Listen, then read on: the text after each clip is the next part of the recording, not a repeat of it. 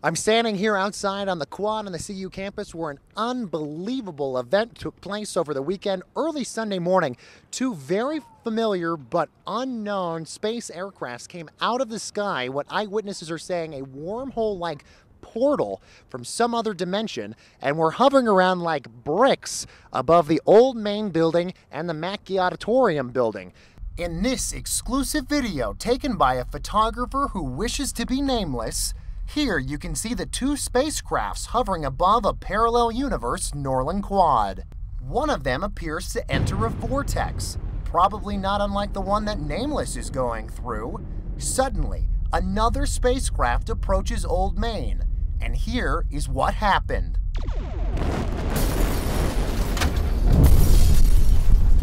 And if you thought that was astounding, Macky Auditorium returns fire.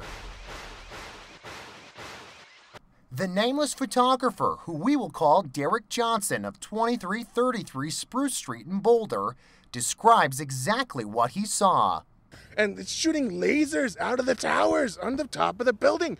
Like there's there's an intergalactic war playing out right in front of me that I never never knew about.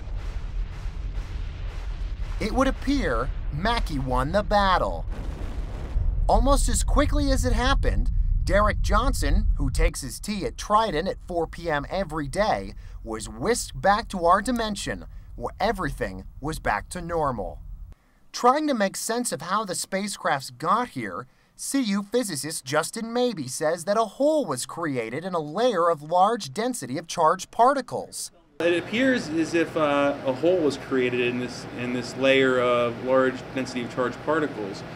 Now, it, it, it seems completely crazy, but once again, we have eyewitness video, which you are seeing right now. Once we get more details on what exactly took place, we'll get them to you. Check check the top of the building. I guarantee there's lasers there. And that will be another in depth report, sir. We'll definitely have to look into it. Live from the quad, I'm Baker Machado for News Team Boulder.